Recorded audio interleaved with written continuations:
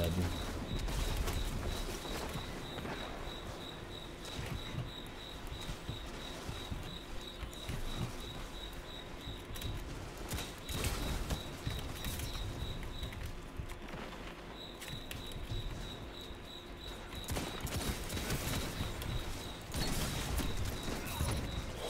my god! Even though I'm so good.